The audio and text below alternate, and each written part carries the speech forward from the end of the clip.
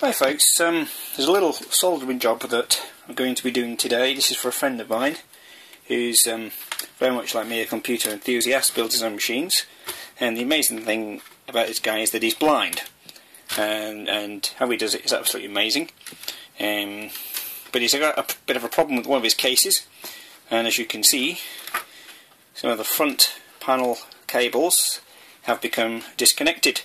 So the on-off button and the reset switch. And one of the two LEDs the cables have just come off. So we're going to have a go at fixing these back on.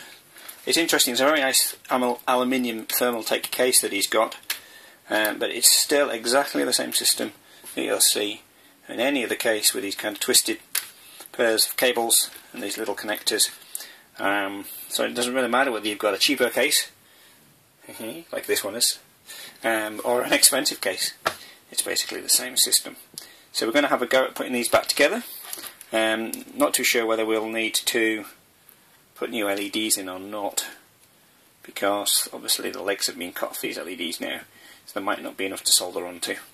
I think the buttons, there's probably enough solder, you probably can't see that, I don't think it'll focus on it. There is probably enough solder already on those just to heat those up and it'll probably allow the solder to melt and reflow. So we'll give it a go and see what we can do. Okay, we've done the first bit, which is to get the power button reconnected. I'm really pleased with that job, it's nice and neat, um, and the heat shrink is shrunk nicely. That means we shouldn't get any shorts there at all. I've just connected it up to this, my test system,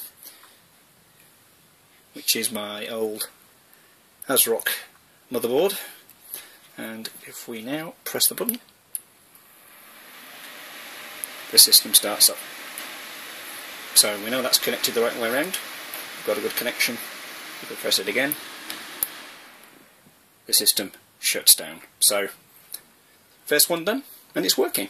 That's a good start